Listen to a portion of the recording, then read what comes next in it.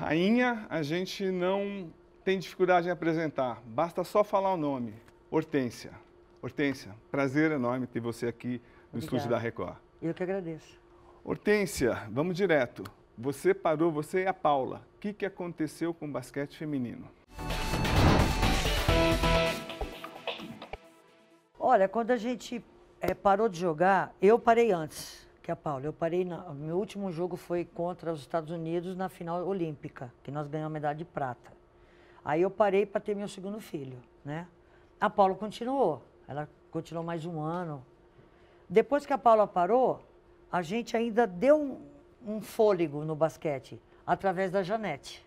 A Janete, a Alessandra, a Marta, conseguiu. Depois que elas pararam aí, aí foi para baixo. Então, o Brasil ao longo dos anos teve Guga, Éder Joffre, você, a Paula. A gente vive de fenômenos e os esportes não florescem por quê? Porque falta uma gestão. O que, que acontece com o Brasil, na sua visão? É, todo esporte que você vê aparecer ídolos esporadicamente, Daiane dos Santos, Sim. Né, o Guga, como você falou, e depois não aparece mais, o que, que aconteceu? Falta de gestão. Porque quando você utiliza, você aproveita essa oportunidade, onde tem um ídolo que chama a atenção da molecada né, da, da criançada para aquele esporte e você dá, faz uma gestão, dá oportunidade para que eles praticam, você descobre talentos. O exemplo, o voleibol. O voleibol tem uma, sempre teve uma boa gestão e sempre teve disputando medalha. Pode ver, o voleibol é um fenômeno, porque tem uma grande gestão, tem bons patrocinadores, sabem utilizar bem aquele dinheiro. E, infelizmente, na minha geração, Hortense e Paula, a direção da Hortense e Paula, é, não souberam aproveitar essa oportunidade que a gente lotava ginásio, era a segunda modalidade Sim. do país e não apareceu, não apareceu. Não tem talento? É, tem material humano? Claro que Sim. tem. Não tem a oportunidade. Então, mas de uma maneira assim até didática, o que, que deveria ter sido feito ou o que, que a gente pode fazer para recuperar a força no basquete feminino? Na verdade, assim, é, não é só uma modalidade. Sim. Eu acho que é uma gestão esportiva de um país, né? Eu fui descoberta dentro de uma aula de educação física da escola. Quantos anos, Hortência? Eu, eu comecei a... Quando eu entrei na quinta série, eu aprendi o esporte. Quando eu estava na sétima série, me deram a bola, a professora de, de basquete, a professora de educação física me deu a bola de basquete pela primeira vez. Nunca esqueço o nome dela, Mitsuko. Ela que me ofereceu. Porque garota pobre, não tinha dinheiro para ser sócia de clube, aprende o esporte aonde? Na escola.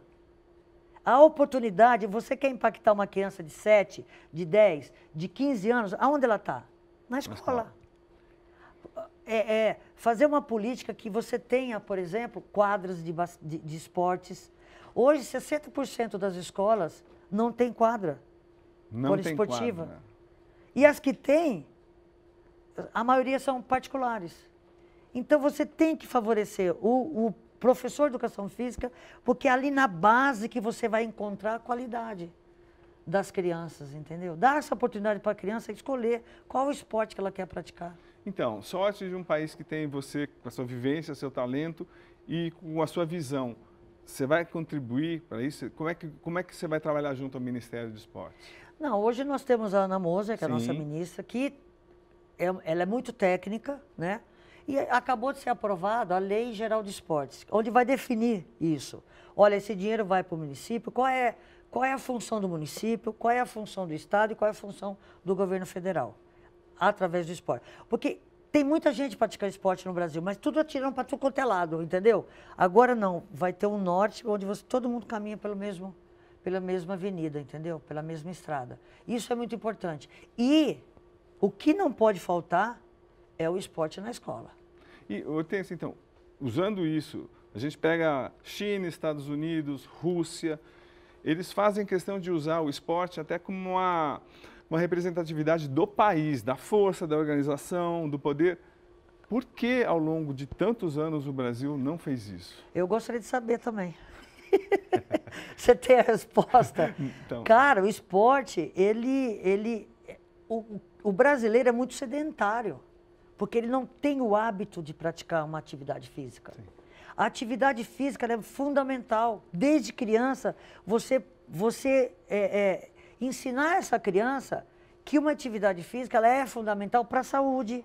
Tira as pessoas da fila da, da, da, do SUS, entendeu? A prática esportiva, tanto para a cabeça, corpo e mente, e tudo é importante. E a socialização também. Então, mas esses países que a gente acabou de falar, eles, eles fazem tem, isso. Então, fazem isso, mas é. tiram, tiram a, a, grande população do sedentarismo, mas também cuida da é, descobre a elite dos, dos, claro, dos atletas dos esportes claro. e tem uma política. Qual que é essa política? Você conhece também? O que, que é preciso fazer? Gasta muito dinheiro? É organização? O que, que falta? O que, que você pode Olha, tudo precisa de dinheiro, óbvio. Sim. Nós temos dinheiro. O Brasil é um país que tem dinheiro. Ele é mal utilizado, mas ele tem dinheiro. O Brasil tem um, é um país que tem dinheiro, é um país rico, né? É, o que falta é essa política esportiva que nós não tínhamos e parece que agora começou a ter pela Lei Geral do Esporte. E vamos ficar atento para que essa Lei Geral do Esporte realmente seja, porque você sabe que tem, às vezes, tem muita lei que ela existe, mas ela não é, é cumprida, ela não é feita. A gente tem que estar ali para fiscalizar está ali para cobrar. Olha, tem que fazer, tem que fazer. Então, a Austrália, quando quis fazer uma revolução no esporte, ela dividiu o país em oito e cada um desses pedaços, ó, vamos desenvolver aqui o basquete, aqui o handball, aqui o futebol, aqui. Então, essa organização, quem que a gente quem que pode cobrar? Quem, porque o Brasil é, é um o continente. Ministério, é o Ministério. Isso é inteligente, sabe por quê? Hum. O, o, nosso país é um país muito grande, né? Então você é uma mistura de raças. É, aqui no sul tem mais alemão, tem mais. Você sabe disso. Então, por exemplo, é, gente alta é bom para o vôlei, é bom para o basquete. Ah, pessoas um pouquinho mais baixas é bom mais para atletismo, é bom para esportes mais individuais. Não é para salto em altura, mas é para velocidade. Então, você tem que fazer isso. Você inve... Não é que você não vai tirar, por exemplo, a possibilidade de um estado onde tem pessoas que não é tão alta de jogar basquete. Claro que você vai dar essa oportunidade através da escola, mas você vai investir mais dinheiro aonde o esporte, onde tem mais possibilidade daquele determinado esporte. A Austrália fez isso. Sim. Ah, mas isso aí é, é sacanagem com quem tá... Não, não é tirar a possibilidade dele também de ser. É, por exemplo, é, qual é o local, a região do nosso país onde tem mais gente alta. Você investe mais ali. Perfeito, então. Mas, ah, mas aquela pessoa que é alta não pode fazer um esporte um pouquinho mais. Pode. Entendeu? Mas é usar o dinheiro, diferenciar isso, é muito interessante.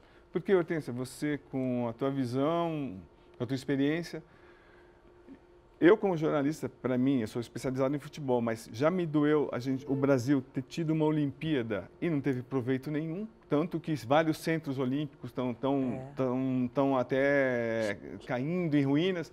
Qual é a sua sensação? né? Está sendo qual, sub. Qual a sua sensação depois da Olimpíada? O que, que você Porque esperava? Não tem uma política esportiva. Mas o que, que você esperava com a Olimpíada no Brasil? Eu esperava que ali, por exemplo, ali onde teve os Jogos, fosse um centro é, de treinamento olímpico, que não tem no Brasil um centro de treinamento.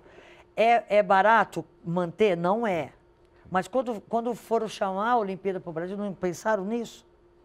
Entendeu? Um centro olímpico de treinamento. Você vê, nos Estados Unidos tem três, quatro centros olímpicos de treinamento.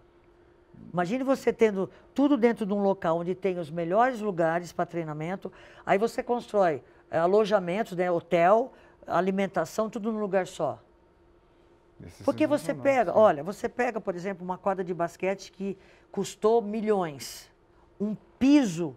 Você não pode botar, por exemplo, uma aula de, de escolinha ali, porque vai danificar o, o piso, vai danificar. Ah, mas é sacanagem. Não, não, não estou dizendo que não pode. Eu estou dizendo que cada coisa no seu lugar. A criança tem que fazer escolinha dentro da escola. Se você Sim. der a oportunidade para ela ir para a escola e ter um, uma, um professor de educação física que realmente se preocupa em dar o melhor que pode para aquela criança, ela não precisa ir num, num estádio, num ginásio maravilhoso, entendeu? Para utilizar ele. Ela utiliza na escola como aconteceu comigo. Então, agora... Não é proibido da criança utilizar aquele local, mas não vai ter o tênis ideal, não vai ter o equipamento ideal para poder utilizar.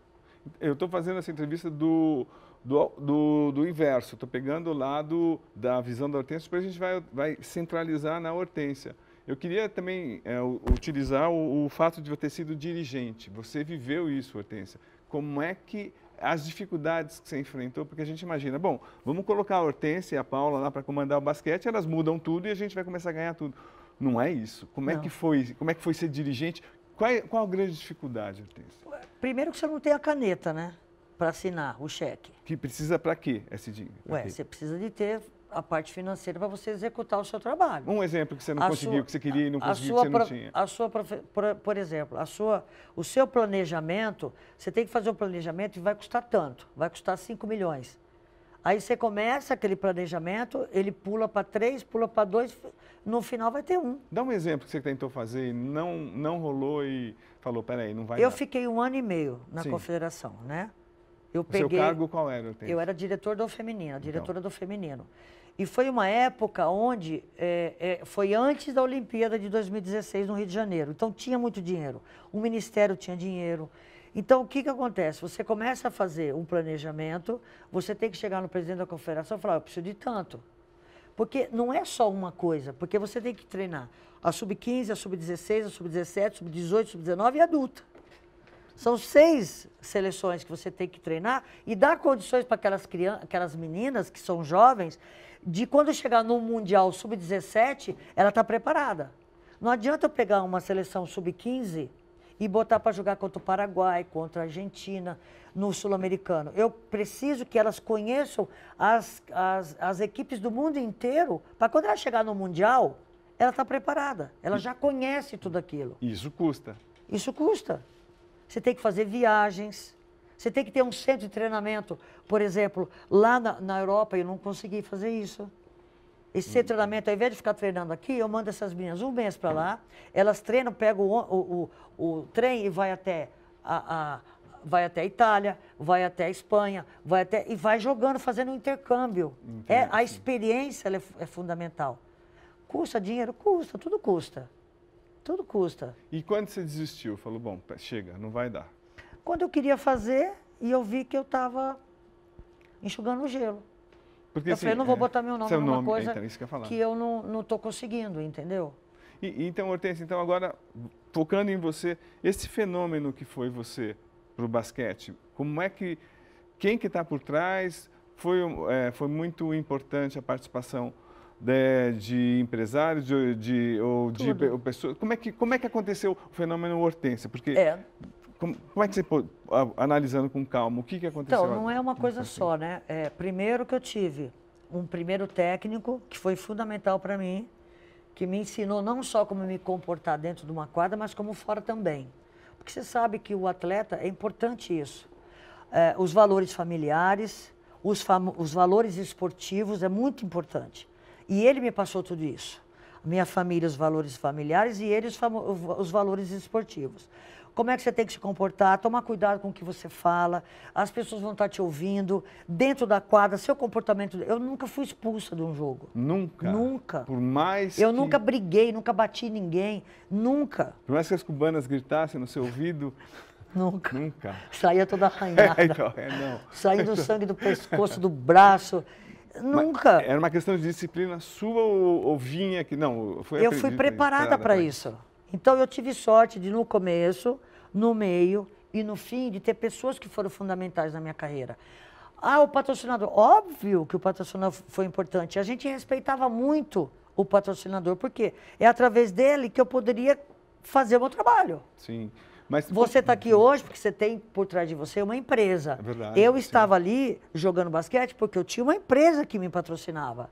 Entendeu? Então, então todos eram importantes é, é, estar na seleção brasileira, quem era o presidente, quem era o diretor, quem era o meu técnico, quem era o meu preparador físico, porque eu tinha que estar bem fisicamente para poder demonstrar o meu jogo ali dentro. Nutricionista. Então. Tudo. Então, mas como é que foi o fenômeno da Hortência? Menina de 14 anos que pegou a bola de basquete, e daí? Porque assim, é, deixando bem claro, a Hortência é danada. Ela, quando ela quando tinha 10 anos, a Denise Miraz, é uma grande jornalista que me passou todas as informações da Hortência. Ela tinha capacidade para fazer tudo. Você era até recordista em salto de distância, né, Hortência? Salto de altura. Não, salto de distância, distância, isso. Então, conta, por favor. Eu acho 14 assim, anos, e aí? A coisa mais importante é você descobrir o que você quer ser. Qual é o seu verdadeiro dom, né? Isso é muito importante. E quando você tem muita habilidade. E eu já nasci sabendo.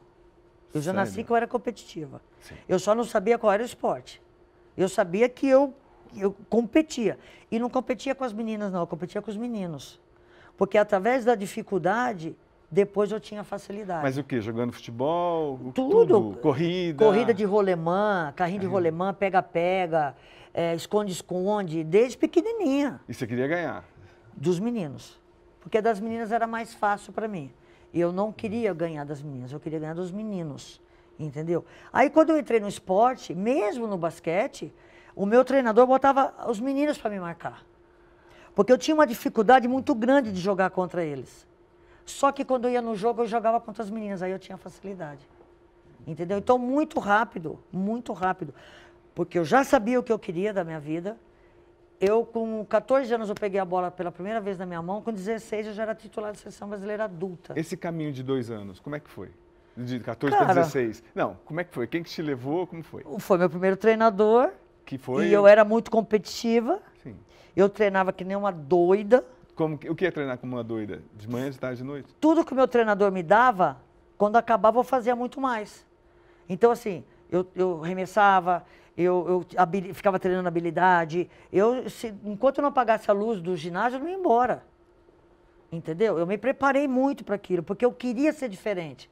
Eu, é, é eu usava qual, qualquer detalhe que me davam ali naquele momento para me diferenciar das outras. Eu queria ser escolhida. O Oscar tinha uma meta de entre 500 e mil arremessos por dia, uma coisa de doido. E você? Todo mundo era assim. Chegava a isso? Eu fazia. Eu, eu, quando eu fui convidada pela primeira vez, convocada para a seleção, eu coloquei uma meta. Ah. Falei, não vai ter um dia de treinamento, antes ou, ou, depois, fora o que o treinador dá, eu vou meter mil, mil bolas lá dentro. Mil? Não era só arremessar, tinha que meter mil bolas? Dentro. Quem, quem contava? Eu? Eu, ah. eu tinha, já tinha toda esquematizado ali, ó. 50 dali, é, 250 de lance hum. livre de cada lado. Eu tinha tudo esquematizado, de três pontos, de, de dois pontos. Pô, eu já sabia. O Oscar acabou casando com a, com a, com a namorada que recolhia a bola, que ele arremessava. Eu tinha, Quem... eu pagava para os meninos. Ah, você pagava? Pagava para dois menininhos pegar a bola para mim. Porque eu chutava com duas bolas, uhum. porque era mais rápido, né? Sim. Enquanto uma estava saindo da bola, eu estava chegando picado. Eu pegava aqui, eu, era isso aqui, ó. Essa e, é a velocidade. E você sozinha que inventou esse, esse treinamento? É, tinha, né? tipo, é, você via, mas. O que, que eu preciso ser para me diferenciar das outras? O que, que eu preciso fazer a mais para ganhar delas? Eu fazia.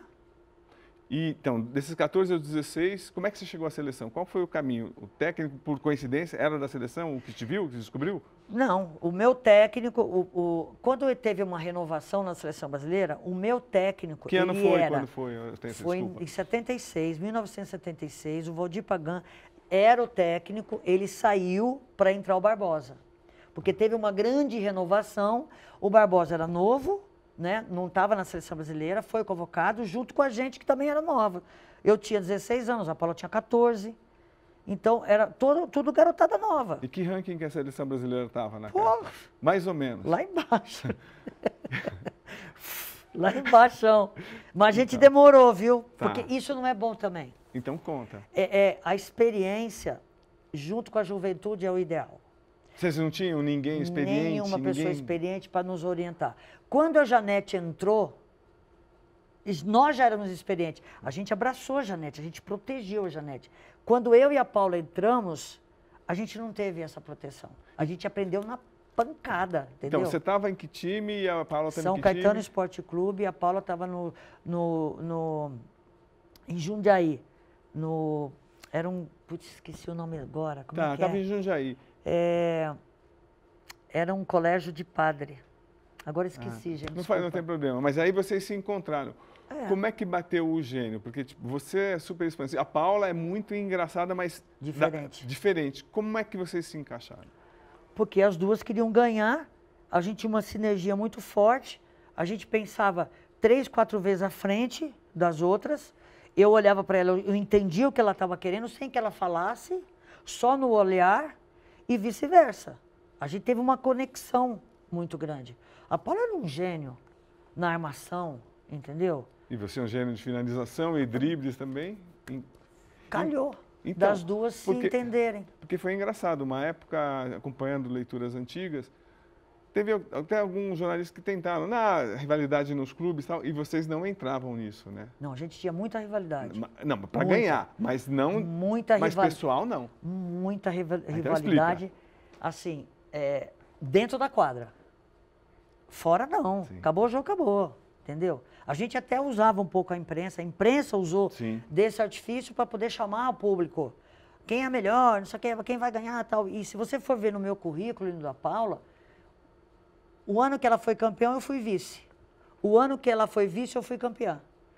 Só nós duas. E estimulava. Não tinha um terceiro time. Terceira.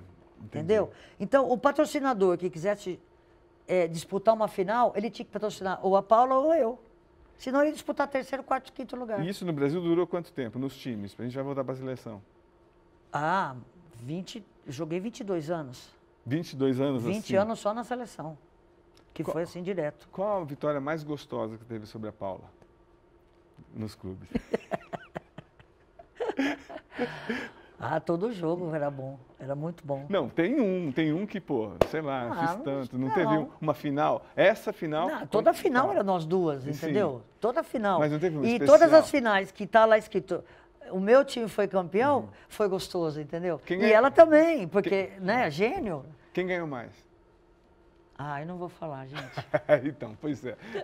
A Hortência ganhou mais. Vai lá. A Hortência ganhou mais. Então, é, agora, então, dentro da seleção, aí, vocês chegaram. Isso é que era o problema que hum. você falou agora. A Hortência ganhou mais, a Paula ganhou mais. Essa era a disputa. Mas, então, Porque assim, mas... quando o meu time é. era campeão, eu era melhor. Mas quando é. a Paula era a campeã, ela era melhor. Isso que era ruim para nós duas. Mas centralizar. Porque as então. duas eram boas. E como é que, é que as companheiras lidavam com isso, as outras? Ah, que, que a gente vai fazer? Né? Nós, ela era líder no time dela, Sim. eu era no meu. E como é que você administrava e, isso, Hortência? Ah, Com as coadjuvantes? Como é que era? Elas entendiam que, que era importante, por exemplo, eu fazer 40 pontos por jogo e elas trabalhavam para isso. Agora, acabava o jogo, por mais mal que eu estivesse naquele jogo, a imprensa vinha em cima Todo de mim. Cima Aí é sacanagem, que naquela que se destacou, mas vinham em mim, vinham na Paula. Mas a gente, a gente lidou bem com isso, eu acho. Então, mas isso para a seleção brasileira fez um bem? Como é que vocês chegavam, por exemplo? Nunca chegaram arranhadas? Você não acha que, que... Não, a gente nunca não. chegou... Óbvio que o primeiro dia, segundo dia, depois a gente já se, se adaptava tal. Não vou falar para você que não, né? A gente tinha uma rivalidade, Sim. mas ela não era minha inimiga. Ela era, ela era minha companheira de jogo quando a gente vestia a mesma Sim. cor de camisa. Me explica então porque ela é gênio. é, foi gênio. Nossa, a Paula, é engraçado que a Paula nunca tive uma, teve uma, uma boa é, é, parte física. Mas como, ela não precisava, porque ela usava assim, a cabeça. Ela não, tipo, não era eu, atlética, eu, super eu assim. precisava ter a parte física impecável, porque o meu jogo era muito. usava muito o meu corpo. A Paula usava a cabeça. Ela, ela tinha uma, uma visão de quadra que se você não tomasse cuidado, você tomava uma bolada na cabeça, na cara, no nariz. De entendeu? tão rápido que ela pensava. De rápido e de, de visão de jogo. Ela tinha uma leitura de jogo maravilhosa, entendeu? E eu, através dela, eu entendi essa visão dela. Por exemplo, um, um jogo. Então, quando a gente, a gente. Ela não precisava do físico para jogar. Eu sim. E a gente está sendo injusto, fala, bom, a Hortense e Paula foram responsáveis pelo Brasil ganhar em Cuba. Não, e, não foi, então, só Hortência Paula. Então, então, então, por que que a gente... Porque vocês acabam centralizando demais isso. Ou era falta de visão da imprensa ou o quê? Não, quando, quando a Janete entrou, que foi em 91 em Cuba, 94 no Mundial da Austrália e 96 na Olimpíada de Atlanta, que nós começamos a ganhar. Faltava, porque, então... Porque a gente dividiu as responsabilidades e não ficava só em cima de mim e da Paula quando entrou a, a, a Alessandra, quando entrou a Leila, é, é, enfim, um monte de jogadores que a gente começou a ganhar. Porque quando ficou muito centralizado entre mim e a Paula, ficou, era difícil, porque a, a turma ficava muito em cima da gente. Agora, eu vou dizer para você, nós só começamos a ganhar títulos importantes quando a Janete entrou. Entendo. A tua vida é tão rica que tem tantos detalhes, mas não dá para escapar. Eu vou usar a técnica que a gente usava no jornalismo impresso, no jornalismo impresso, para não me perder. Por que, que a Hortência é era gênio? Por quê? Eu, Analisando. Você que está falando não, que eu era não. gênio. Por que, que não era diferenciado, então, jogando? O que, que você Porque tinha? eu nasci pra e, isso. e quem que se inspirava? Hum. E, tipo assim, que, que qualidade você tinha? Que que era, por que era tão fácil para você? A gente assistia... A minha maior qualidade hum. era o meu, a minha personalidade. Eu não gostava de perder. Eu era, era briguenta, no bom sentido. Sim. Eu era guerreira. Eu não desistia. Eu estimulava as minhas companheiras que estavam do lado, eu instigava as minhas companheiras que estavam do lado, no vestiário, em, sabe? Eu, eu não aceitava a derrota. A gente estava conversando antes, você assistiu o filme do Jordan, você se viu assim com o Jordan? É que nós somos da mesma época, né? O tênis que ele usava era o que eu usava também. O, o, o, o Converse, Adidas, depois veio a Nike Air. E, então... E os técnicos davam essa liberdade para você? Pode falar, pode cobrar. Todos os técnicos deram? Como é que Ó, existe era, uma hierarquia, Sim. né? Existe uma hierarquia e que você não é que você pode falar o que você quiser, porque existe o respeito, sim, né? Sim. E o respeito é, é um dos valores olímpicos que o atleta tem que ter. Então, por mais que você que você não concorda com aquela tática, você fazia, porque você tem que respeitar o treinador. Ele é superior a você. A gente trocava uma ideia, Sim. ele sempre me ouvia, a gente trocava uma ideia, mas a última palavra era dele. É que nem pai, pai e filho. A última palavra é do pai e da mãe. A tá. gente só obedece. tá, certo. Porque cê, às vezes você pode estar tá achando uma coisa que não é. Você não é a dona da verdade. Né? Sim, você pode argumentar, mas a decisão é do treinador. Porque também a visão do atleta é diferente. E, o, e, e o atleta tem que entender isso.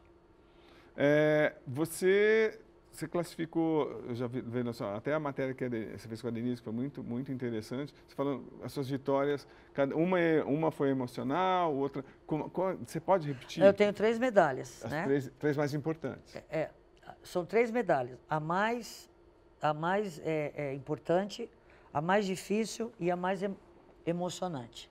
A mais emocionante foi a de Fidel Castro lá em, na, em Cuba, que ninguém tira da cabeça aquela história dele tirando a gente do pódio, brincando com a gente. E, e o Brasil inteiro acompanhou. Então foi, foi um momento muito emocionante. E a gente sabia que o Brasil estava acompanhando a gente. A mais importante, óbvio, que é a de campeonato campeão mundial. Mesmo porque a gente quebrou aquela hegemonia dos Estados Unidos e União Soviética Sim. na época. Né? o Brasil foi o primeiro. E que dó que foi na época da Copa do Mundo? Foi no mesmo ano. E de madrugada. Sim. Né? E a Bandeirantes que transmitiu para a gente. Então, essa foi a mais importante, porque você é campeão do mundo. Espetacular. Né? O atleta sim. que não é campeão do mundo, faltou algo. Né? E a mais difícil para mim, no meu caso, foi a vice-olímpica, porque eu tinha acabado de ter filho. Eu tinha parado de jogar. A preparação Tinha foi... acabado de ter o João Vitor em uh, fevereiro de 96 e em julho eu estava disputando a final da Olimpíada. Que loucura. Loucura, não é para disputar um paulista, é para disputar uma Olimpíada. Então. Eu nunca sofri tanto na minha vida. Porque também você teve. Dores essa... e dores e dores no corpo para entrar em forma, mas, cara, valeu a pena. Então, porque também você percebeu que o time era super forte e a, a sua vontade de falar, é não, agora porque, ou nunca. Porque assim. Você eu, tinha parado, né? Eu tinha parado, mas aí eu, eu pensei, o Brasil está pronto para ter uma medalha. Já pensou se eu não vou e o Brasil ganha uma medalha olímpica e eu não ganho? Eu preciso me dar essa, essa chance. Eu preciso me dar esse prazer, entendeu? De pelo menos tentar ganhar uma medalha que eu nunca tive. E graças a Deus eu tive, tive uma, uma, uma escolha certa, uma atitude certa. Sofri por causa do meu filho, tive que separar um pouco do meu filho e tal, mas valeu a pena. Então, porque, assim, são tantos, tantos episódios emocionantes, mas eu vou, deixar, vou seguir é o que eu quero, assim, é o que eu quero entender como a Hortência virou Hortência. Quando você se deu conta da sua importância eu nunca dei. Como não? Vocês que deram. Não, tá. Então, quando a imprensa descobriu Hortência? Quando, olha, vai... Foi, essa... foi, uma coisa, foi uma construção, né? Que eu acho que é legal. Quando hum. você aparece muito assim, vem uma pressão muito forte e às vezes você não está preparado. Que título você, você foi ganhando? Eu fui conquistando. Fui então, mas... paulista, brasileiro, aí eu fui convocada para a seleção, aí eu fui... Eu disputei JEBs, eu disputei JUBs, é, internamente... Aí eu fui convocada para a seleção, aí eu disputei campeonato sul-americano, depois fui para o pan-americano, perdi, ganhei, tomei pancada pra caramba, aprendi. Aí até que um dia eu cheguei e fui campeão do mundo. Mas as derrotas não podem ser vistas como uma coisa ruim. Porque às vezes você perde, se você tiver inteligência, se tiver humildade e sabedoria para reconhecer o que você está errando e melhorar, uhum. é bom às vezes uma derrota. Porque então você veio depois de outra geração da Norminha, tal. então o, o, o que que aquela geração não chegou e o que que vocês tipo aprimoraram daquilo? Quando eu cheguei, eu joguei no time da Norminha. Ah, é? Né? São Sim, Caetano. Verdade, a Norminha sim. jogava em São Caetano. Quando eu tinha 14 anos que eu entrei no time, que eu, que eu tava ali junto, a Norminha já estava com 30 e poucos anos, já estava quase parando. Mas o né? que, que ela te passou? Muita coisa, ela dava toque em mim, ela me marcava pra caramba, ela não deixava eu fazer as coisas. Isso foi bom. Eu não via como uma coisa ruim. E, e cada toque que ela me dava, eu falava, poxa, eu não posso fazer isso. Eu preciso fazer aquilo. Aí eu fazia não dava certo. Não, então não deu certo, eu tenho que fazer. Até que um dia ela não me deu mais toco. Você entendeu? Então, esse aprendizado é muito importante. Às vezes você bate a cabeça aqui, você bate a cabeça ali, mas você tem que usar isso como uma coisa do, para o aprendizado, para nunca mais fazer. Então, e o estágio que o Brasil estava? A seleção brasileira estava em que estágio? Não tava... era ruim.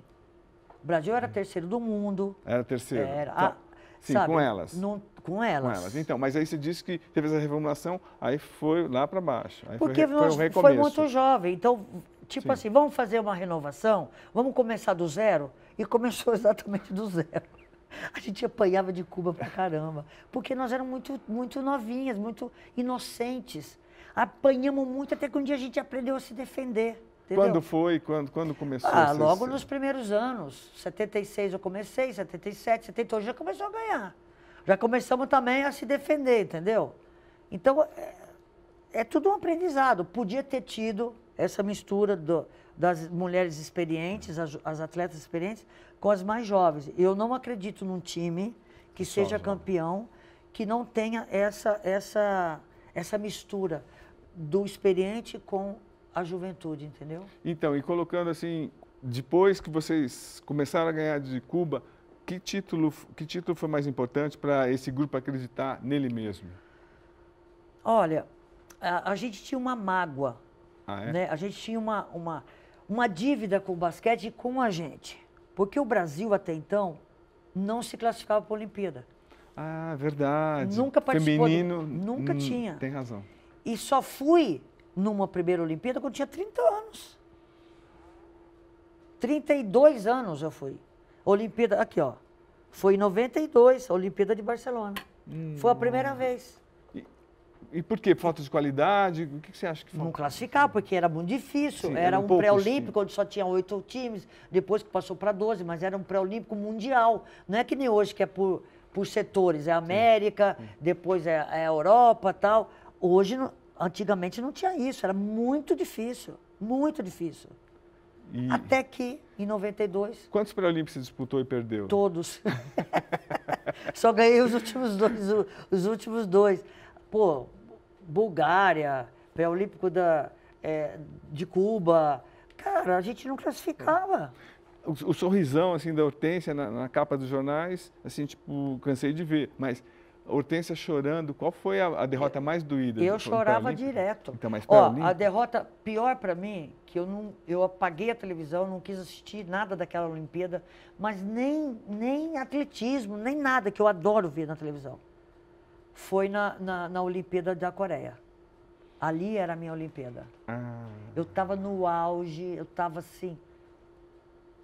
Não assisti. Ali foi, foi, foi barra.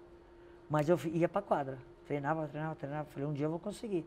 Até que a gente conseguiu, em Vigo, pré-olímpico de Vigo, a gente conseguiu se classificar para a Olimpíada de Barcelona. Fomos péssimos. Tinha oito times, nós ficamos em sétimo, né? Tudo aquilo era muito novo para nós, porque cada competição é muito diferente uma da outra, por isso que eu falo da Sim. experiência. Quando a gente foi para Barcelona, já fomos para a final. Entendeu? Já estavam. Aprendemos rápido. Agora, essa, essa, essa tatuagem você fez quando, Hortência? Logo que eu. Só para mostrar para lá, por favor. Logo que eu saí, que eu parei de jogar. Então, mas. É, pra, porque a Olimpíada é o auge do auge do auge. Todo Sim. atleta, toda criança, todo atleta, quando ele quer ser profissional, ele quer disputar a Olimpíada.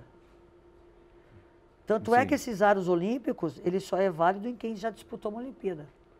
Ah, mas ah, você pode sim. fazer? Pode, fazer, mas você pode tá. comprar uma medalha também sim. na loja que não tem importância nenhuma. Sim. O prazer de ter é. disputado, isso ninguém tira é. de você. Você vê, você vê uma pessoa com um negócio desse, com esses aros olímpicos, você sabe que ela participou de uma Olimpíada. Pô, isso é um privilégio absurdo. A maioria, eu acho que 90% dos atletas têm. Os, meu filho, primeira coisa que ele fez foi botar aqui no braço.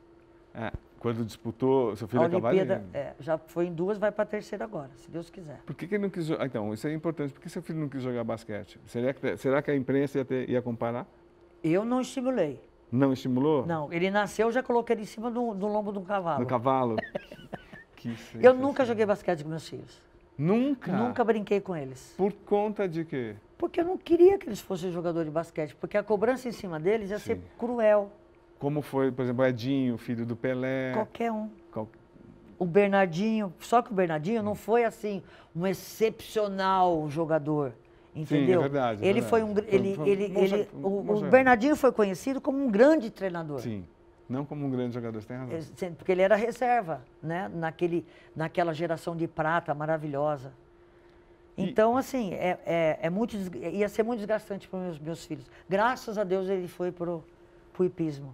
E, assim, como eu sou do futebol, eu sei os salários do futebol que são absurdos. Falar que o Neymar chega, ele ganha em torno de 26 milhões por mês.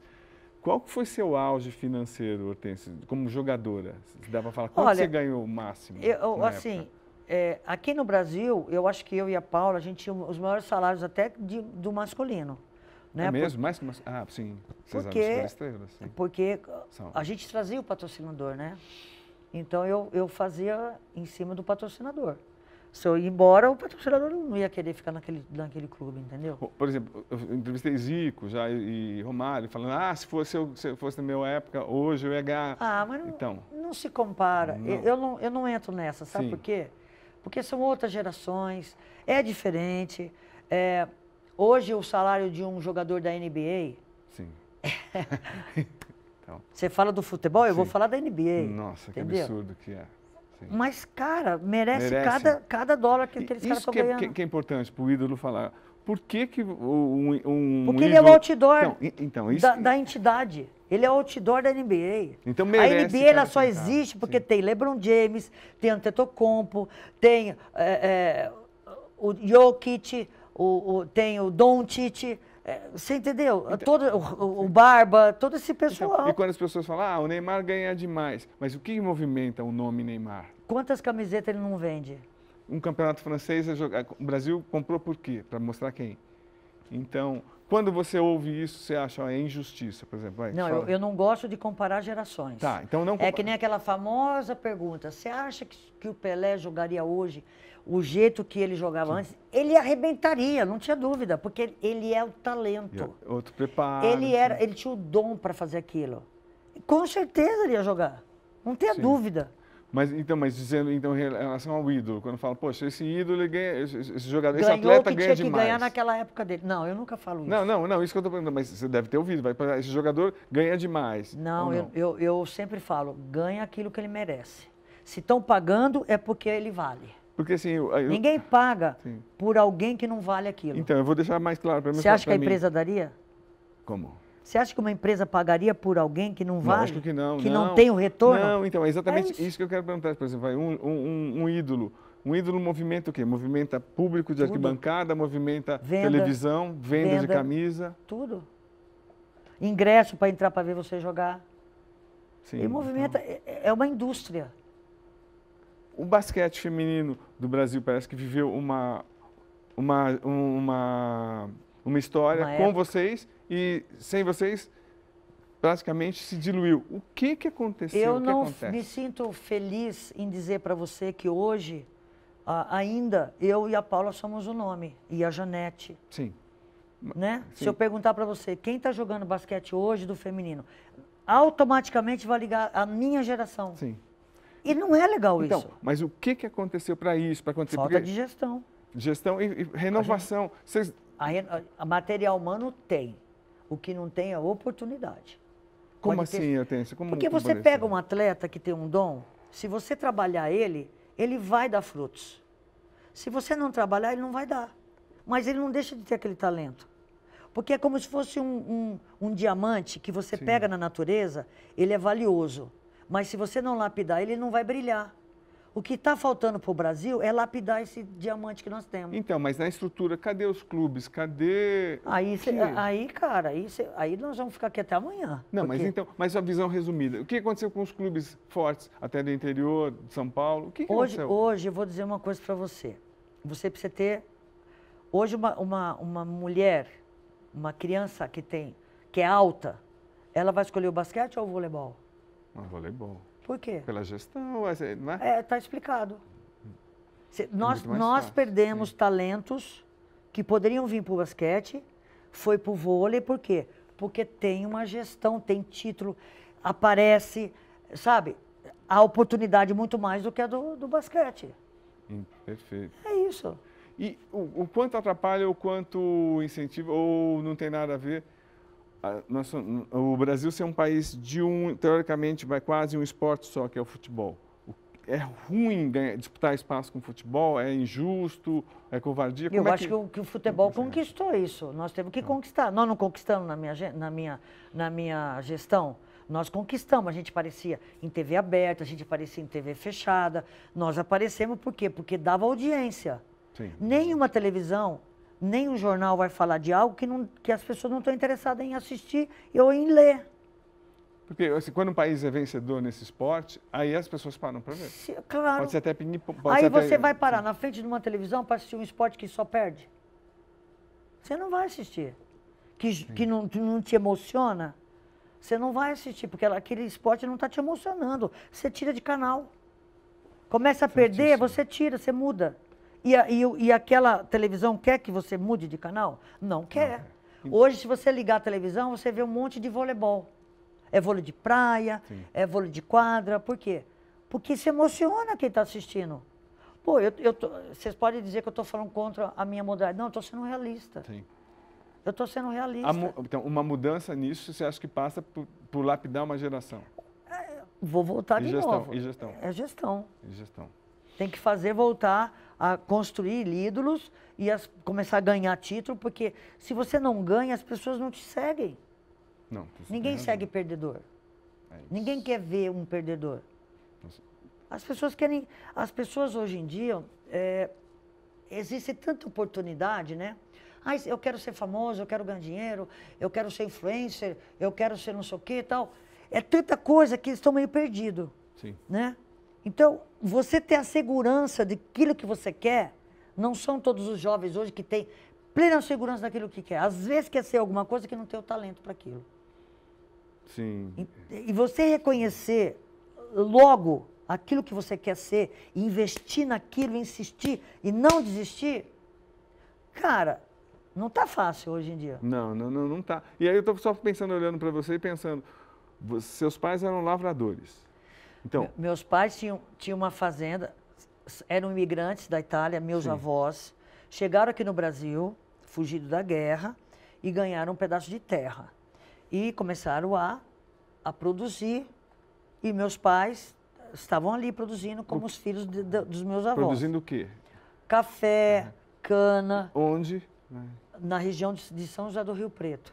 Então, e esses valores que você tem, que, é, que, são tão fortes, essa personalidade, vem de... Da minha família. Do berço. Do de, berço. Você ajudou você quando e era pequena? E o esporte lapidou. Quando você era pequena, você ajudava também seus pais? Não, porque Não. meus pais já estavam morando na cidade. Tá. Meus avós tinham morrido, separaram, venderam a fazenda e dividiram para os irmãos. Meu pai foi para a cidade e começou a trabalhar em outras coisas. E eu já, já fui para a cidade essa força interior que você passa, esse carisma, tudo, isso também vai depender. Não, foi lapidado, mas é seu, né? É nasci assim. É seu, nasci. é seu, é seu. Não, é assim, eu nasci com essa força, mas eu fui direcionada para o lado do bem e para o lado dos valores familiares. Sim. Isso é muito importante. Se você vai para o outro lado, você pode ser tão boa, mas para o outro lado, Entendi, entendeu? Entendo. Você sim, tem que sim. ser direcionada através da sua família. E quando eu entrei no esporte, aí eu fui super lapidada. Entendeu? então, e, e Hortência é engraçado, porque a gente lembra, lógico, de você ganhando títulos, também, também óbvio, você como mulher chamava atenção, muito bonita. E, Mais ou menos. Não, é, assim, é, é. Eu me preocupei com isso. Então, mas de repente, aí, lógico, é, é, inevitável, todo mundo fala, e a Playboy, como é que alguém tem, né, teve personalidade, ah. fez, e fez uma edição bonita, Duran, o J.R. Duran, como é que foi dinheiro, foi vaidade, foi o quê? Então, nós estamos falando de 40 anos atrás, né? Já? É, Nossa, por exemplo, eu posei em 82, para cá quantos anos dá? Rápido. Vai, foi isso, 41. Ah, lá atrás, quando a gente Sim, começou, 41. não existia empoderamento da mulher. Né? Não existia essa palavra. Não, não existia coach. Verdade. É, é, essas coisas que hoje existem, essa proteção que hoje existe. As pessoas iam na, na, na quadra xingavam a gente pra caramba, de tudo quanto é nome. Quem praticava basquete naquela hora, naquela época, era coisa de homem, não era coisa de mulher. Coisa que o futebol, até falei outro dia num, num programa aí, coisa que a, a, o futebol feminino também teve esse problema, que todo mundo tinha aquele preconceito Sim. de que mulher que jogava futebol era coisa de homem. Verdade. Né? Verdade. Então a gente tinha que passar por isso. A gente tinha que quebrar essa barreira, abrir essa porta para as próximas gerações não ter essa mes esse mesmo problema, né? E quando é, eu aceitei posar para Playboy, óbvio que primeiro foi por causa do dinheiro, não sou boba, é, nada. O equivalente é o que hoje, Hortência Castilho? Na época eu comprei um apartamento no Morumbi, que o Morumbi era uma coisa assim, um por andar tal. Botei uma graninha a mais, Sim. completei e comprei esse apartamento. Segundo, que era, eu ganhava em cruzeiro, eu não sei fazer a conta hoje, quanto que é quilo em cruzeiro. Sim. Era na época do cruzeiro ainda. E aí, o segundo que eu queria mostrar que eu podia posar para Playboy, sim. É, que o meu corpo não era masculino. Que mulher que praticava, que tinha músculo, que era, era delicado, feminino. que era feminino. E a, aquela coisa de você. É, eu gosto de desafio. Eu era a primeira pessoa, a primeira atleta a posar para Playboy. Não fui a primeira a ser convidada, Sim. mas fui a primeira a ter coragem de aceitar.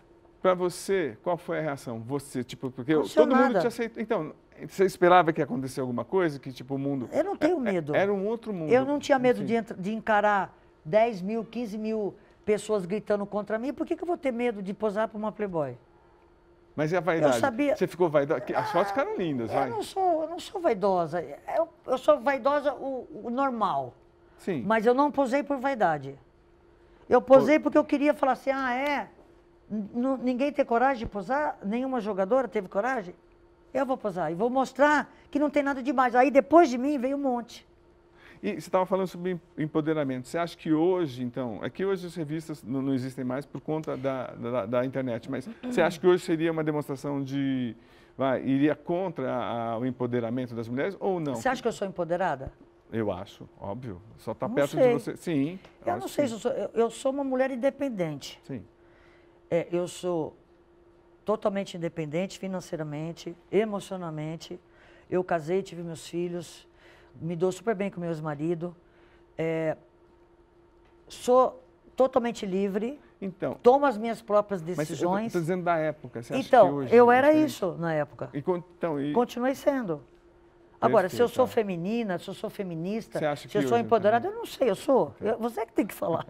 sim, sim, eu Eu, eu não me preocupo com, esses, sim, com esses rótulos. Entendi. Perfeito, eu adoro estar perfeito. junto. Eu adoro ser protegida pelo meu namorado, sim. pelo meu ex-marido na época. Sim. Eu gosto disso, mas também gosto de ter minha opinião. Eu, eu, Perfeito. quando eu, ó, é dona de você. Eu vou dar um exemplo para você. Eu fui casada com o rei da noite. Sim, não, Zé, Todo mundo dizia Zé que era Vitor marketing. Todo mundo dizia que era marketing, que depois eu ia parar de jogar, que agora eu ia para as baladas, que eu ia para as festas, não sei o quê. O que, que aconteceu? Quando eu me casei, eu me casei em 89, 92 eu fui campeã pan-americana, 94 eu fui campeã do mundo e 96 eu fui vice-olímpica. Eu mudei? Não. Pronto. Não, perfeito. Porque eu não vou viver a vida do outro. Eu vou viver a minha. E ele vai viver a dele juntos, nós estamos no mesmo caminho. Você entendeu? Eu não vou parar a minha vida para viver a vida do outro. É isso que eu acho que pode ser que seja empoderamento.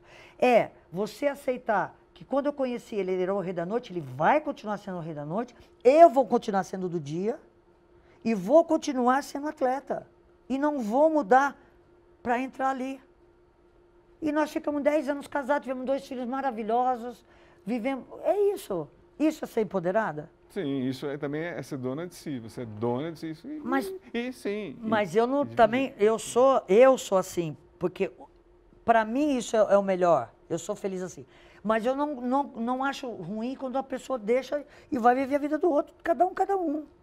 Então, porque a vida de atleta também sacrifica muito a família, não sacrifica?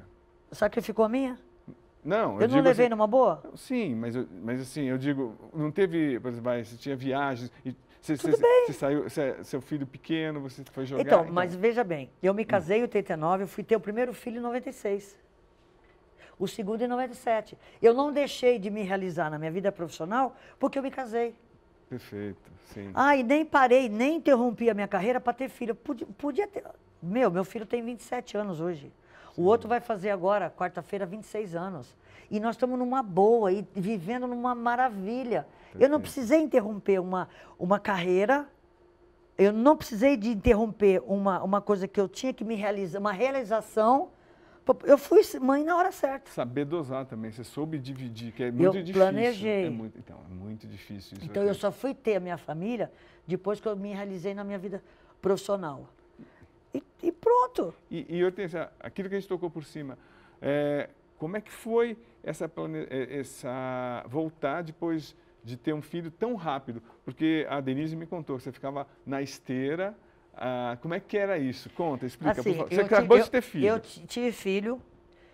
Com 15 dias eu fiz cesariana. Uhum. Com 15 dias eu tirei os pontos. Pus uma esteira na, na minha, na, no meu quarto, meu filho do lado e eu na esteira. Ele chorava, eu parava para dar de mamar. Ele chorava para dar de mamar. Que dificuldade que era o corpo? O que que, o que, que tudo? O que doía? Você não tem noção. É okay. tudo, doía até a unha. até a unha, mas eu, eu desobedeci o meu médico, porque ele falou que eu só podia voltar uma atividade física com um mês. Eu voltei antes. Eu comecei a caminhar, tal. Com um mês eu decidi fazer um teste, ver se eu ia conseguir, porque eu não sabia se eu ia conseguir entrar em forma.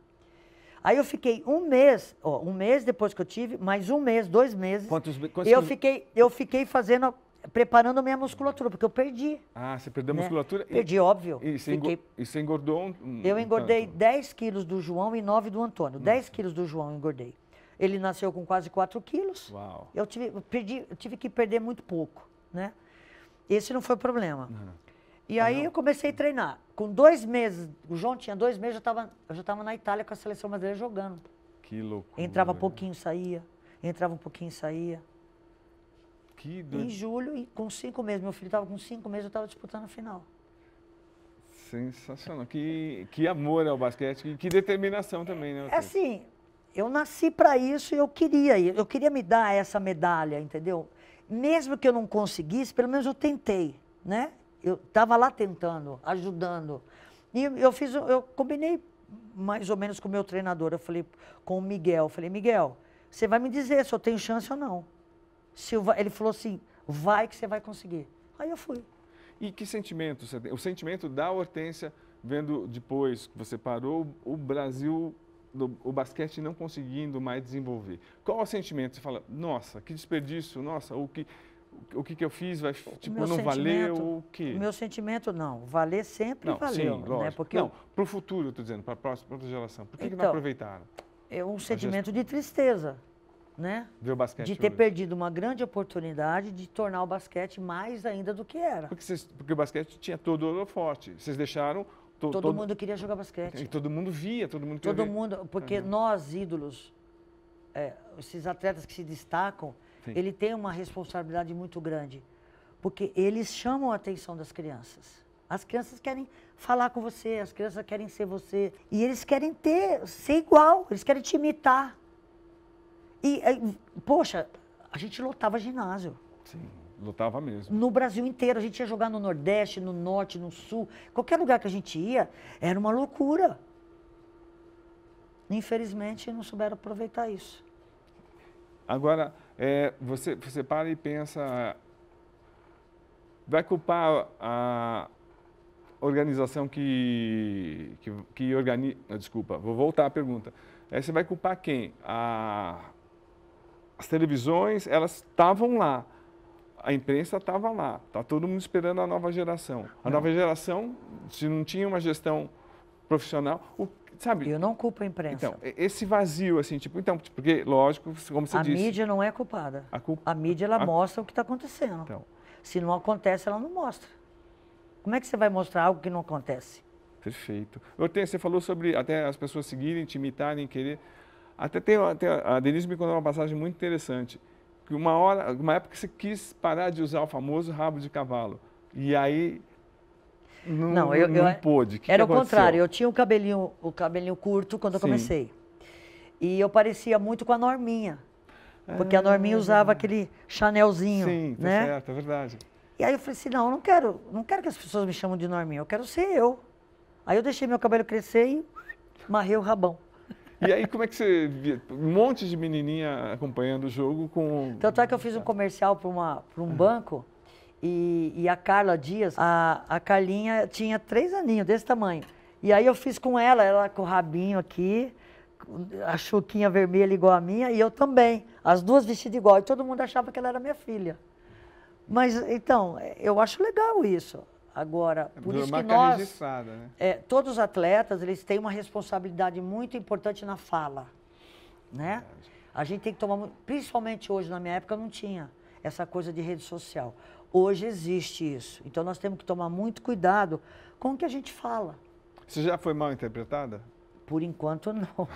Graças a Deus. Perfeito, perfeito. Ó. Mas pode ser, um dia pode ser que aconteça. A gente tem que tomar muito cuidado para esse tipo de.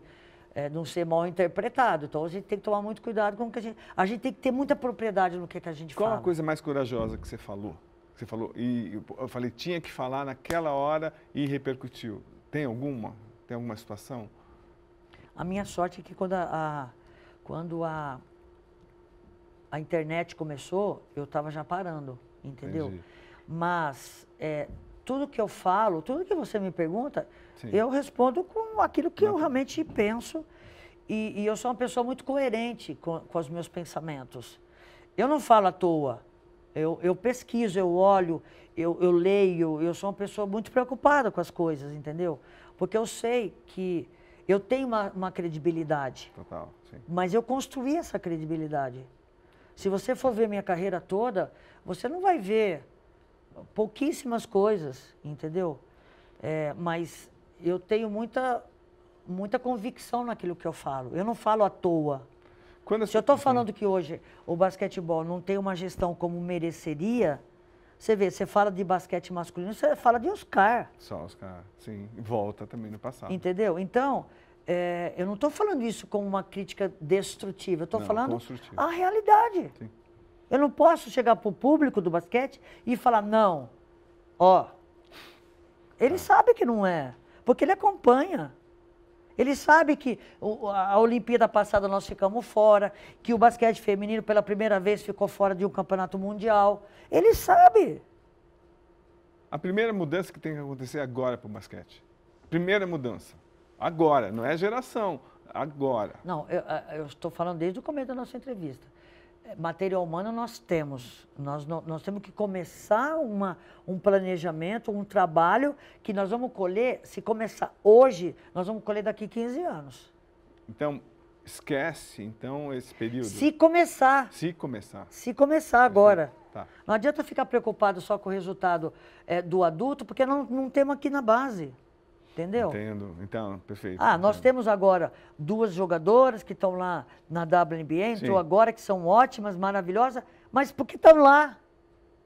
Porque está lá nos Estados Unidos, entendeu? Vai vir aqui jogar a seleção brasileira e vai voltar para lá. Não vai fomentar aqui, entendeu? Entendo, entendo. Quase como acontece com o... Foi feito lá, não foi feito aqui. Nós temos que fazer aqui. Quem é que tem condições de pegar a sua malinha e ir para os Estados Unidos, estudar lá? Você entende? Ninguém. Nós temos que dar oportunidade aqui no Brasil. Agora, o, a, então a gente tem que esquecer então essas próximas três Olimpíadas, então, de resultados? Porque eu, a, gente, a, gente, é muito resultadista. Se né? eu fosse, é, Mas a gente tem que apanhar um pouquinho agora para dar resultado lá na frente. Tá. Nós temos que pegar as, as, as categorias de base e investir nelas, para ver se nós fazemos lá na frente uma, ah, uma seleção forte. Perfeito. Entendeu? É, não podemos abandonar o adulto, óbvio que não. Mas nós precisamos investir na base. Pô, gente, isso aí é. É óbvio, tá. Porque, eu, assim, eu não estou falando nenhuma novidade aqui. A gente vive então de renascimento, né? Porque teve a geração que foi terceira do mundo, Porque, depois teve ó, vocês. Veja bem, aqui, ó. Se você tem, você tem um plantel, né? As jogadoras. Se você investir nelas, ela tem hoje o Sul-Americano Sub-15. O ano que vem elas classificam para a Copa América Sub-16. Se você investir, ela vai classificar para o Mundial Sub-17. Se você não investir, elas não vão evoluir. Elas precisam hum, de evolução, Entendo, de intercâmbio, conhecer, ver os outros, as outras, eh, as outras é, escolas. Tem a escola americana, tem a escola é, é, asiática e tem a escola europeia. E agora tem a escola também africana. E você tem que conhecer essas escolas. Todas elas, porque você vai deparar com elas no campeonato mundial. Isso é custo, organização, gestão. Voltando. Agora, quando a gente cobra um atleta para ele se posicionar socialmente, falar olha, as desigualdades do Brasil, o racismo, pô, Neymar não fala não falava pouco porque ele é. poderia, eles têm holofote. É, é justa essa cobrança, não é? Ou Eu acho como que, é que faz parte. Coloca? Eu acho que faz parte essa pergunta, né? Por exemplo, o esporte ele é muito inclusivo, né? é muito inclusivo. Eu vou estar falando pelo meu, Sim. que eu participei durante 20 anos. Para nós, o que importava não é se a menina é hétero, se ela é homossexual, se ela é preta, se ela é branca, se ela é alta, se ela é baixa, se ela é gorda, se ela é magra. O que interessava para nós é: você vai me ajudar a ganhar o jogo? Você é competente, você é boa? Nós queremos você no time. O que você faz da quadra para lá, isso não é problema meu. Entendeu? Entendi. Porque onde você pega 12 jogadoras, cada um pensa de um jeito, cada um é de um jeito, vive de um jeito diferente do seu, você não pode querer mudar aquela pessoa. Você tem que entender e respeitar. A palavra mais importante da minha carreira foi o respeito. O que não pode é a pessoa se prejudicar dentro da quadra, mas se ela estiver fazendo o trabalho dela, então, a minha vida, a minha vida inteira perguntaram para mim: você prefere ser comandada por homem ou por mulher? Eu Sim. falei, eu quero ser comandado por quem for melhor. Se for a mulher, que seja ela. Se for homem, que seja ele. Mas essa coisa da, se aí, Aí, o que acontece? Hoje, você tem punição para um torcedor Sim. ou por um atleta que foi racista. Sim. Mais ou menos, né? Porque uhum. na Europa estão fazendo vê. isso com os nossos, nossos atletas, que é um absurdo. Na minha época não tinha isso. Isso era normal na arquibancada, na arquibancada ser gritada. Era normal. Racismo. A gente tinha que escutar aquilo, apoiar aquela pessoa que foi, que recebeu esse, essa, esse, esse, essa, esse xinga, essa xingação, né? Sim. É, orquestrada. Mas hoje não. Hoje é que isso dá cadeia. Sim. Não, mas então, mas posicionamento. O ídolo. É, tem que ser contra. Então, mas não sei, não sei, mas o ídolo, você se colocando não, não, atinge um público muito maior. O ídolo não mas, tem que falar. Você, mas imagina se você vê um colega seu. Sim. Você é, vê que for, ele recebeu esse negócio. Estão ah, sendo racista com ele. Você não vai se posicionar?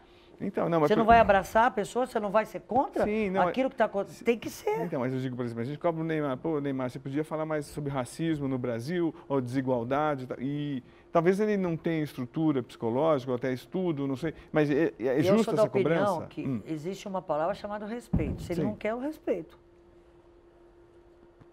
Deveria. Mas, não, mas é isso que eu falar, isso não é, não, não é uma, vai, um, um, seria um, uma qualidade do ídolo se posicionar tá, mas, questões sociais? Mas eu respeito. Não, não estou falando especificamente do Neymar, do ídolo em si. Ah, mas tem muitos que se posicionam. Você se posiciona sobre tudo. Não. Tudo. A gente vê e você, você é firme. Se, se tiver uma Sim. campanha que me chamam e eu acho que é uma campanha legal, eu vou, participo. Entendeu? Agora, é, se você também não quer participar, Sim, é, é, eu respeito. Eu acho que deveria. Eu acho que a classe artística ela é muito mais unida com relação a qualquer assunto do que a classe esportiva. Esportivo. Tá? Por exemplo, tem ali é, um projeto de lei para ser aprovado que é para o bem do esporte, eu acho que se a classe esportiva se unisse, olha o que esses caras têm de seguidores, olha a importância dessas, desses atletas, poderia ser muito forte também, entendeu? Entendo, sim. Não, isso... Podia ser mais unida. Mas tem, tem que ser um negócio não pessoal. Não é só uma coisa só de um, de dois. É, é todo um projeto, é toda uma classe envolvida nisso. Essa lei geral de esporte, que foi aprovada agora, graças a Deus, que está um tempão ali, poxa, já podia ter saído antes. Se tivesse se juntado todo mundo e feito uma pressão. Porque é do bem. Não é uma coisa que é para mim. É nem vai para minha geração, que dá, vai para as próximas, entendeu? Não é nem para mim. Não, não, vou ganhar um tostão com isso. Não, perfeito. O, o também estou sendo cobrado aqui de que para acabar. Não, não, para acabar não, não. Pra, assim, é, não pro, pro, tem os lenços que tem que dar para você sobre a, a, as lágrimas que vieram quando o Corinthians foi rebaixado. Conta essa história. Você Nossa, chorou? Eu fui chorar, fui correndo chorar é, no banheiro, porque meus dois filhos, ó, nós somos de uma família uhum. que o pai dos meus filhos é São Paulino. Sim. Eu sou corintiana. O João Vitor que é o meu primeiro filho, é palmeirense. Nossa. E o outro meu filho, que é o Antônio, ele é santista. Que doideira. Aí pergunta para mim, como que isso aconteceu? Conta. Incompetência minha. e como é que foi Corinthians rebaixado em 2008? Não, para você. Não. Pra... Você estava assistindo e aí? Tava. E quanto mim. você é corintiana? Mas eu, eu prefiro falar para você. Não, de quando... 2002, 2012 vamos chegar. Vamos chegar, você é danada. Mas, e como é que foi? Foi horrível, porque eu sou corintiana. Eu não sou aquela fanática que briga com todo mundo.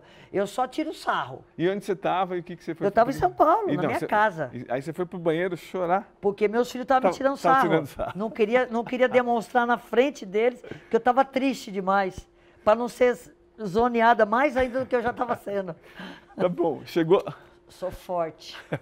Fui chorar no ah, banheiro que sozinha. Doideira. Chegou 2012. E Vou aí? tomar banho. Aí. Ah, que legal. E 2012 chegou a Libertadores pro Corinthians. E aí? Então, aí eu não quis ir no ginásio, no estádio. É mesmo? Por quê? Da minha casa eu escutava o barulho. Porque eu fico muito nervosa. é mesmo? Nossa, e eu sou muito detalhista. Eu gosto de ver para televisão, porque eu gosto de assistir e ver os comentários, eu gosto de ver o replay, eu gosto, você entende? Sim. Você vai no ginásio, você quase, às vezes você perde o gosto, o outro chama para conversar, quer tirar foto e tal. Eu, eu quis sentir aquilo, assim, muito, entendeu? Ver todos os detalhes, tanto o Campeonato Mundial como a Libertadores. E... Não quis ir no, não quis ir. O que, que você fez quando o Corinthians foi campeão? A alegria do, do, aí, da Libertadores. Aí, e aí, aí eu vou pra galera. E, aí, então, e seus filhos? aí, aí, aí eu corro pra galera. Aí eles Até hoje, ó, ah. ontem jogou São Paulo e Corinthians. Sim. Né? Foi um a um, parece. Um. Isso. Eu estava no Aras, aí meu ex-marido me chamou para assistir o jogo. Eu falei, não vou, vou embora para São Paulo. Catei o carro e vim embora. Mas o meu filho, uhum. o Antônio, que é santista, falou, eu vou assistir aqui com o pai tá? Uhum. Mas eu vou, eu vou torcer pro São Paulo. Eu falei, ah, novidade. que novidade. Eu sabia que se eu ficasse lá, eu ia ouvir dos dois. Então eu peguei o carro e vim embora. Que bato, que família legal. Mas a gente não briga por causa disso. Sim, tá. A gente, a gente aceita a brincadeira, tá? E, mas nunca ultrapassa da brincadeira, jamais. A gente, eu eduquei meus filhos para nunca ultrapassar da brincadeira. E, Hortência, a gente está bem próximo, vai, o ciclo, novo ciclo olímpico 2024. O que você espera dessa Olimpíada de Paris? De uma maneira geral, como é que, como é que Eu acho que tem, a gente tem que analisar esporte a esporte, né? E tem muito a ver da época também, né? Para ver como essas modalidades vão chegar, né? Eu não acredito que não vai ser bom. Eu não sei para o basquete, hum. porque nem estamos classificados ainda. Sim. Nem no masculino nem no nem feminino. feminino Nós ainda estamos em busca da classificação, né? Eu estou torcendo muito para que se classifiquem. Porque é uma experiência sensacional para essa garotada que está aí. Né? E para o basquete é importante também. E eu quero fazer jogo de basquete na Olimpíada. Eu quero mostrar a seleção brasileira de basquete na, na televisão, no rádio. Eu quero que as pessoas falem. E espero que ganhe alguns jogos. E como é que você é, se, se vê nesses 15 anos como comentarista? Porque é, tem comentarista que extrapola, que comentarista que poupa demais o jogador. Como é que você é? Como é que se vê como comentando? Eu acho que você pode fazer uma crítica profissional. Eu, eu, eu vou falar de você como profissional. Eu nunca posso entrar na parte pessoal. pessoal entendeu? Que doía para você quando entravam? Por exemplo, então, mas é tudo é bem. A gente cria uma casca. Uma casca, né? Quando é isso. Mas eu não, não sou esse tipo de comentarista que falo ou critico a parte destrutiva. Eu sei falar, podia ter feito isso, mas, mas eu nunca sou agressiva. Porque a pessoa está ali, ela não está ali para errar. Sim. Ela não quer errar. Mas eu também não posso passar a mão numa coisa que está errada. Porque o público está assistindo. Vai falar, ô, oh, Hortência, que jogo você está vendo? Estou vendo que ela está errando, que ela não está bem. Ó, pode ser substituída, vai para o banco respirar um pouquinho, porque não está numa, numa boa fase. De repente, senta no banco, enxerga o jogo de uma maneira. Na volta, ela volta melhor. Mas eu não posso falar que ela está jogando bem. Perfeito. Se ela está jogando mal. E quando ela está jogando bem, você tem que enaltecer. Perfeito. Tá certo. E, e Hortência, você, eu me diverti muito vendo você no UFC. Ah. Como é que foi essa experiência? Porque você, você, você acompanhou um, uma, uma, temporada do quando Contender, me chamaram, como é que foi? Quando me chamaram para eu ser assistente do Sony, Sim. que era aquele... Que ganhou do Anderson. Aquele americano que tirou sarro do Brasil, eu falei, Sim, eu? É. Eu nunca vi uma luta. Ah, é? Eu nunca tinha visto uma luta. Eu, eu, eu, eu fico mal quando eu vi aquela, aquele pessoal com, saindo sangue, sangue e tal. É, porque eu desconhecia a modalidade. Aí cheguei lá, vi 16 lutas no primeiro dia, nunca tinha visto nenhuma, vi 16. Dezes, é, sim. Cheguei em casa traumatizada.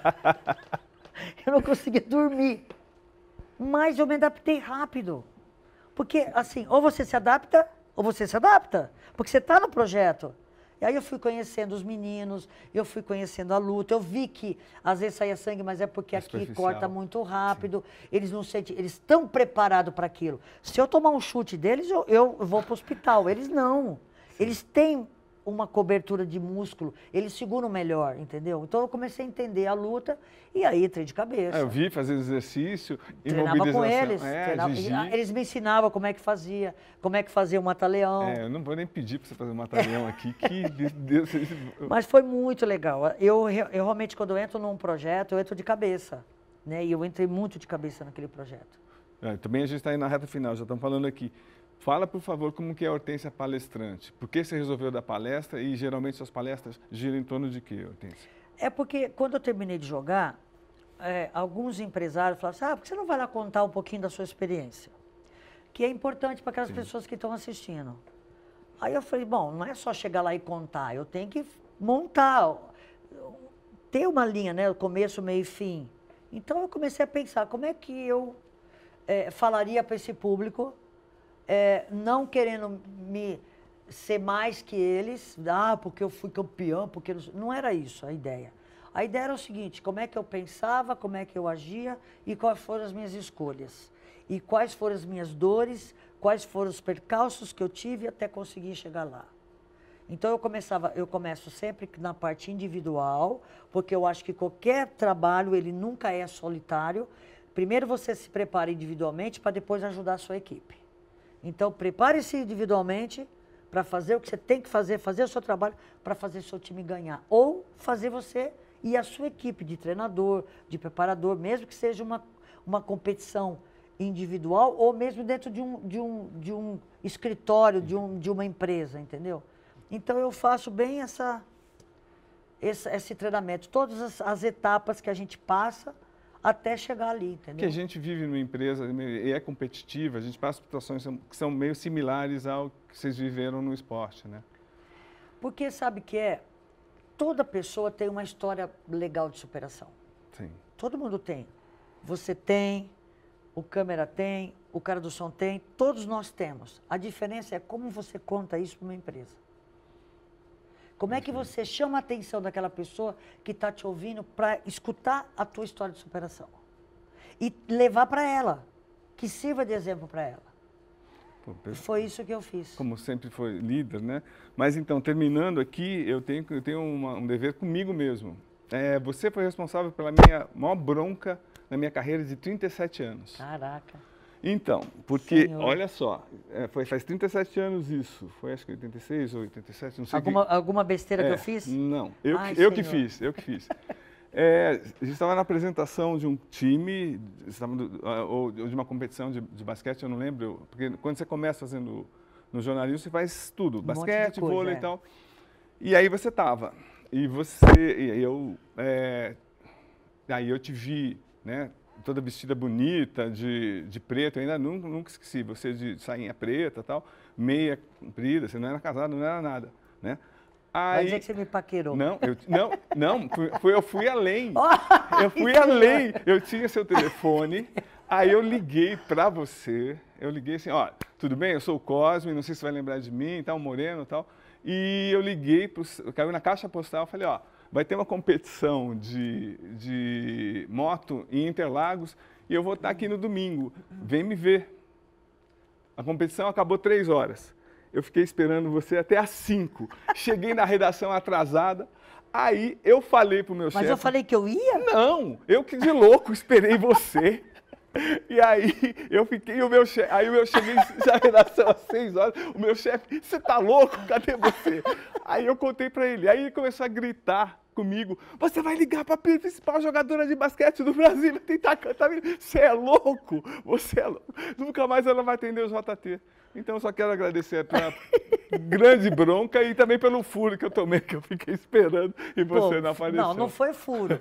Porque se eu tivesse marcado com você, não, seria então, um furo. É, então, eu nem liguei de então, volta.